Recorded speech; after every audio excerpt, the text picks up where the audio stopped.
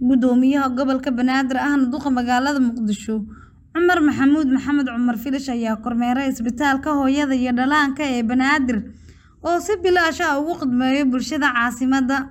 Kormeerkan waxaa duqa Muqdisho ku weheliyay Wasiirka Wasaaradda Caafimaadka Xukuumadda Federaalk Soomaaliya Marwo Foosiye Abiykar Nuur iyagoo warbixin ku saabsan xaaladda isbitaalka ka dhageystay maamulka isbitaalka kuwaasoo tilmaamay in si hufan ay ugu adeegaan bukaanada ku jira isbitaalka iyo kuwa kale ee xaaladda caafimaad u soo doonta.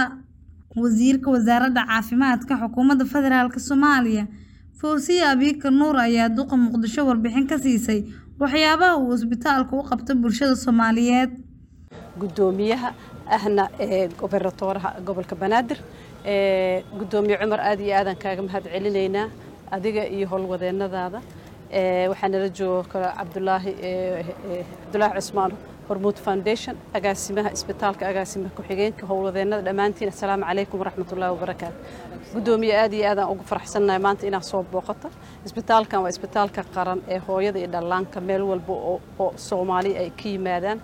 Waxaa lagu daaweeyaa oo runtii ka faa'iidaysta dadka danta yar ee soomaaliyeed ee dadka yimaada xeryaha i d b-da dad aad yacni dhaqaale ahaan u liita oo isku si loogu daaweeya.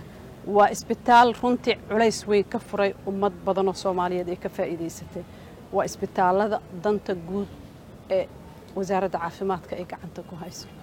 Gudoomiyaha gobolka Banaadir ahna duqa magaalada Muqdisho Cumar Maxamuud Maxamed Cumar Filish ayaa kormeerkaasi kadib waxa uu sheegay in maamulka gobolka Banaadir ay ka go'an tahay horumarinta adeegyada caafimaadka. Si bulshada ay u helaan adeeg caafimaad oo tayo leh isla markaasna bilaash ah.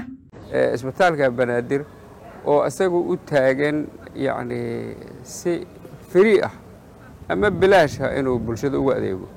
Taasaa mataqaanaa kaalin weyn ah oo dowladeed oo dowladdana sharaf u ah faanna u ah. Dowladdaa gacanta ku haysa iyadaa lagu wareejiyey wasaaradda caafimaadka u sii qaabasheen wasaaradduna waxay u xulatay ciddii ugu habboonayd marka ma raba inaa warka ku sii dheeraadee?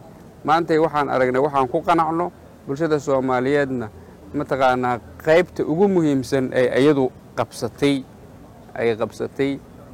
Muna Cabdiraxmaan Xuseen warbaahinta City magaalada Muqdisho. waad ku mahadsan tahay daawashadaada? Inaad nagu soo biirto wax lacaga kaagama baxayso.